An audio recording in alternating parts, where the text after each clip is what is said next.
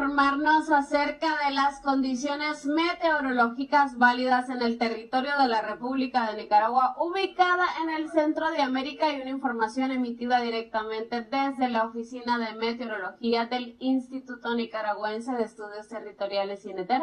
Agradecemos a usted por su fiel sintonía y sobre todo a nuestros compañeros del INETER por esta información que sabemos que será de muchísimo interés para usted si ya salió de casa o de repente en las siguientes horas o minutos tiene planificado hacerlo para que el clima no me lo sorprenda.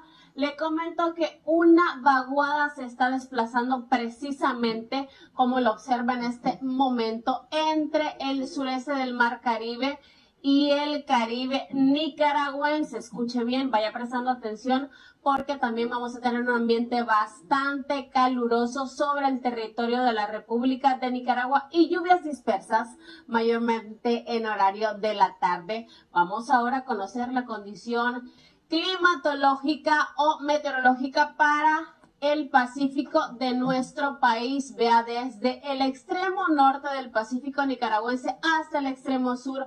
Hoy vamos a tener un día parcialmente nublado. Por la mañana de repente el día se va volviendo muy, muy soleado, pero no se confíe porque se pronostican lluvias en horario de la tarde, norte y central de Nicaragua. Estamos hablando de departamentos como Matagalpa, de, departamentos como Chontales. Estamos hablando de la región norte y central que el día de hoy va a tener una condición meteorológica con lluvias dispersas, de repente en horario de la tarde. Vamos entonces a conocer la condición climatológica de las regiones norte y central. Escuche bien, cómo va a estar el viento en la región norte y central de nuestro país. Los vientos con dirección, al igual que el Pacífico noreste, este, máximos sostenidos que podrían intensificarse y llegar a alcanzar los 30 a 40 kilómetros por hora. Ahora sí, temperaturas máximas para la región norte y central a conocer a Mar Caribe, por ende, cerca de, de, nuestro territorio del Caribe de nuestro país. Las regiones autónomas se registran un día con muchísima lluvia, recuerde, lluvias de ligeras a moderadas con presencia de tormentas eléctricas, inclusive la franja costera. Si usted habita en la franja costera, recuerde muy bien la orientación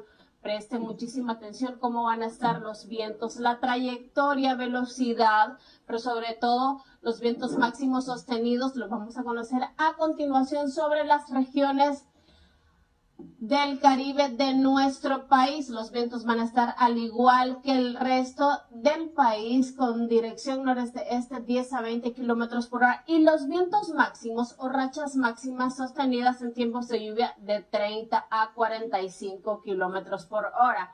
Ahora sí, a conocer las temperaturas máximas en ese punto de nuestra bella tierra de lagos y volcanes y vamos a iniciar con las temperaturas máximas para las regiones autónomas del Caribe. Y lo tiene usted.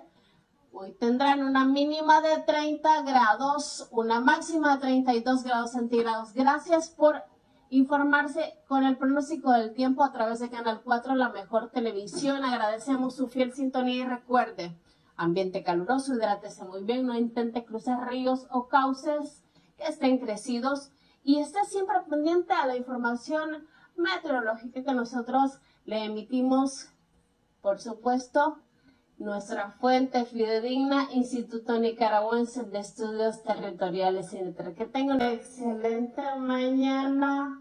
Bendiciones.